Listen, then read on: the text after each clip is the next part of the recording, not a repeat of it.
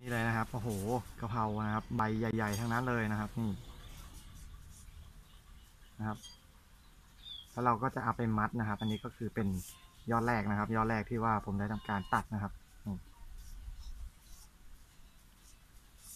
อันนี้ครับดูใบ โอ้โห ใบยังใหญ่นะครับ ดูฝ่ามือ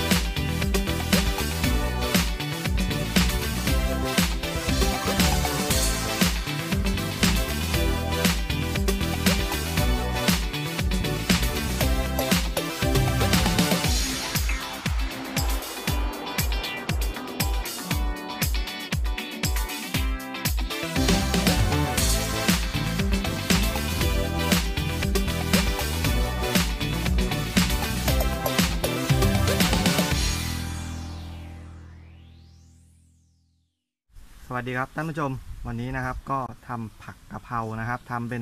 ใบกะเพรานะครับ ตัดใบกะเพราขายตามเคยนะครับ อันนี้ก็ช่วงนี้ก็คือใบใหญ่ๆเลยนะครับ อันนี้ก็เพิ่งจะปลูกใหม่นะครับ อันนี้ก็คือเหมือนตัดครั้งแรกเลยนะครับ เดี๋ยวผมจะเอาให้ดูนะครับผม นี่เลยนะครับโอ้โห อันนี้ก็ใบใหญ่กว่านี้ก็ยังมีนะครับ อันนี้ก็ถือว่ากำลังสวยเลยนะครับ นี่ เอาไปผัดกะเพราไปอะไรโอ้โหโอเคเลยนะครับ เราตัดขายนะครับก็เป็น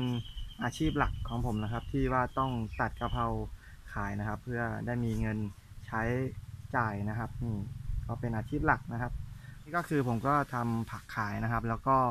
ตัดหญ้าในสวนผักอยู่เรื่อยนะครับ ผมนี่เลยอันนี้เราก็มัดไว้เป็นกำนะครับ เป็นกำแล้วเราก็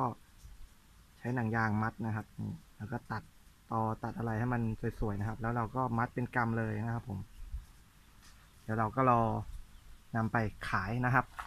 คลิปนี้ก็อาจจะเป็นคลิปสั้นๆนะครับผู้ชมเดี๋ยวก็จะขอทำผักกันต่อนะครับ ผมสำหรับคลิปนี้ก็ต้องขอตัวลาไปแล้วนะครับ ไว้พบกันใหม่คลิปหน้านะครับ สวัสดีครับ